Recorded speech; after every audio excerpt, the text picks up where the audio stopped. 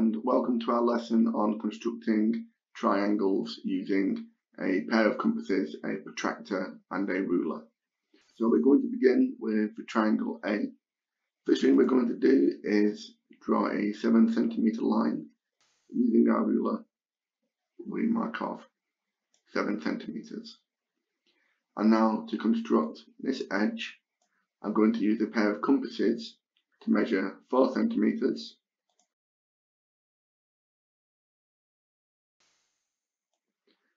And the next thing I'm going to do is draw this line, again using a pair of compasses, but this time with a radius of 9 centimeters. And I'm going to draw this, this arc of radius 9 centimeters from the other end of the line.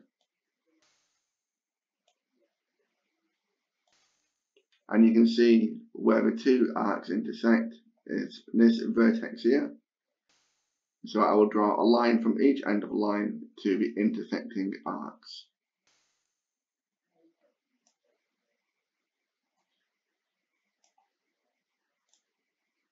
So you can see we have a 7 centimeter base with a 9 centimeter line here and a 4 centimeter line here. It's important when you make these constructions to leave your arcs in as that is your working out. Okay, let's move on to triangle B. So I'm going to draw a 6 centimeter line as the base. And then to construct this angle, I'm going to use a protractor at this vertex. And I'm going to draw a line now that is at 37 degrees, remembering to choose the correct scale. And the scale here is the top scale. So the 37 degree angle is here. And now I'm going to use a pair of compasses to measure the length of 5 centimeters.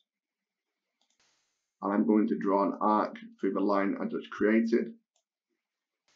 And finally, I'll draw a line from the end of the 6 centimeters to where the blue arc and the green line intersect. So I've got a 37 degree angle here, a 6 centimeter line here, and a 5 centimeter line here. Okay, let's try the next questions.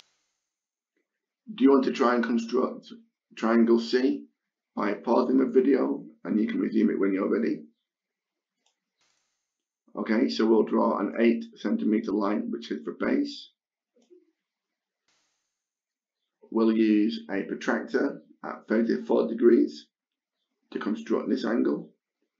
And from this vertex we'll use 63 degrees. We're using the bottom scale so we're going to construct a 34 degree angle. From the end of a line 34 degrees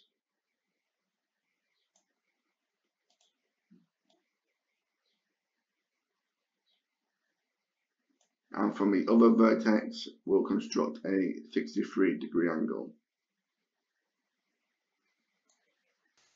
So you can see we've now created our green triangle where we have an 8 centimeter base, a 34 degree angle here and a 63 degree angle here.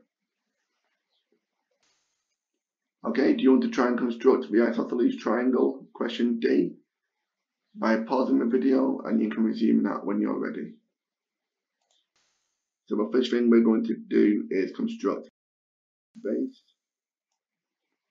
and we're going to use a protractor to construct this angle and this angle.